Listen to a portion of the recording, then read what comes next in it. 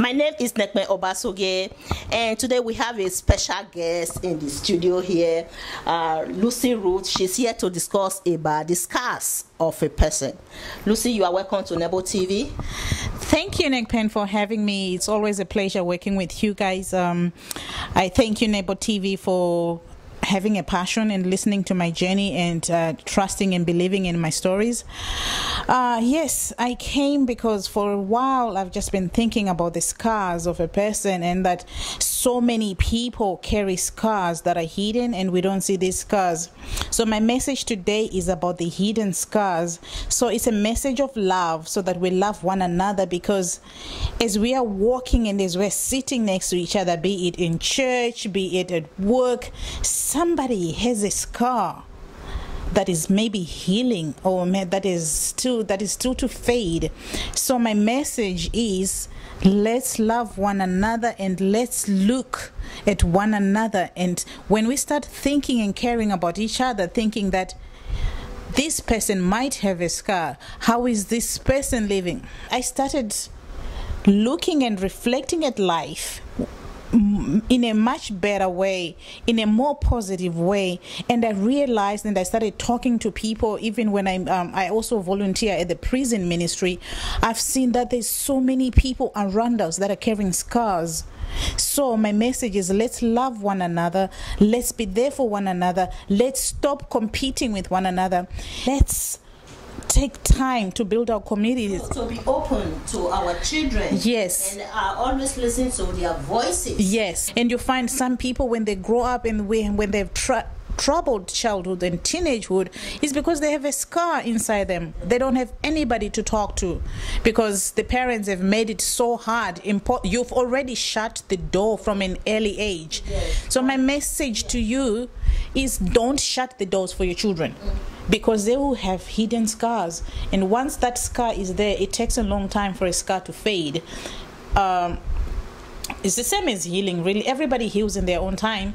So, around us. Look around you and see that you will be surprised the moment you start talking to people that so and so has a hidden scar. Some of the scars are maybe I'm a married person, you're a married person, and you find that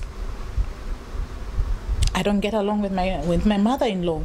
I can't tell my husband that your mother uh, pisses me off. I cannot tell my boyfriend that your mother is mean to me mm. because it's going to backfire. Yes, exactly. Exactly. So that person is carrying a scar and that scar lives with them because every time they're going to see your mother, they're going to say something about your mother because they are afraid to express their grievances you understand when you somebody you are scared of somebody you can't express yourself or express your pain in front of that person which means you carry that scars with you forever mm-hmm. you cannot live in a marriage that you do not like because society tells you mm. that you have to endure the marriage.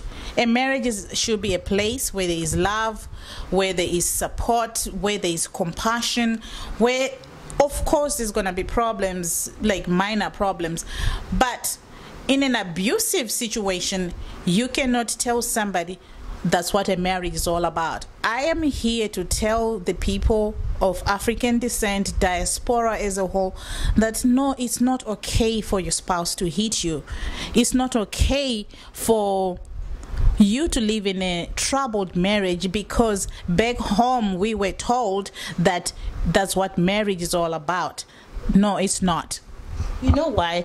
Many women are living in abusive relationship just because of the stigma. They don't want to be stigmatized as a single mother. Yeah. So they believe that uh, the society will uh, will shame them for yeah. being a single mother. They prefer to live in abusive relationship. Yeah. That is what is going on because people will call on you. They will call you names. They will stigmatize you because you are a single mother. We need to redo our culture let's redo this culture let's revisit culture because we have common sense and this culture does not make sense that of course we have to be submissive of course we have to respect one another but there has to be a difference between respect and abuse Exactly. Yes. So, as women and as men, and my brothers and my sisters, I encourage you to let's let's change the way we've been working things. And because also when you look at us as a whole we have a problem because we sometimes we are stuck in the same position in our situations because we don't know how to change. We don't know how to implement change. You go to your aunt in, back, uh, in africa we all have aunties. Like the whole village can be your auntie.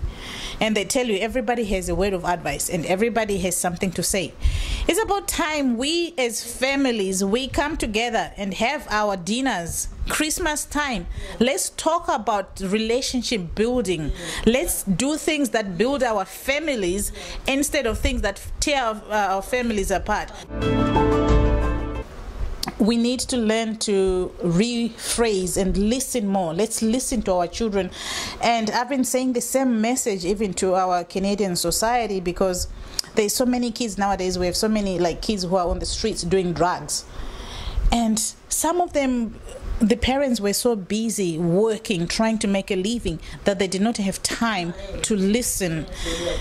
So, if we change this part of culture and this part of society, whereby if a child comes crying, you're going to tell them, if you come here and if you come here crying, I'm going to smack you, I'm going to give you a reason to cry. And listen. And i have this i have a daughter. She's always like crying and trying. And i do understand sometimes she does whine a little bit but i'm I have learned to listen to her and tell her that, you know what, I know it's upset, but is it really, I know you're upset, but should you really be upset to this point? Let's talk about it. Why don't you ignore? Why don't you ignore your brother if he's irritating you? Do something. At least I'm listening and I'm offering her positive ways for her to feel better. So let's learn to build our children so that they don't grow up with the scars, the scar that they feel that their parents don't love them what you just said now just remind me of one course I took in school. Was it not five years ago? Yeah. Children's studies. Yeah. Oh my God. We discussed about how parents don't listen to the voices of their children. So when we don't listen and they uh, they grow up with that scar that you did not listen, mm. it's very important that we listen. You know, some it happened a few years ago. I don't know whether you all know there was a, a TV show where uh, Jada Pinkett Smith was on a show, and her daughter came out and said she's been slicing herself. She never told her parents.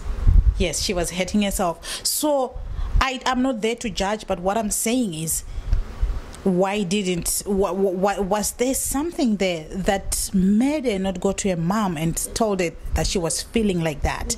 So we want our children. The message here is let's create and have relationships with our children so that when they hit that teenage years and they're struggling because we now live in a world and a society that is terrible.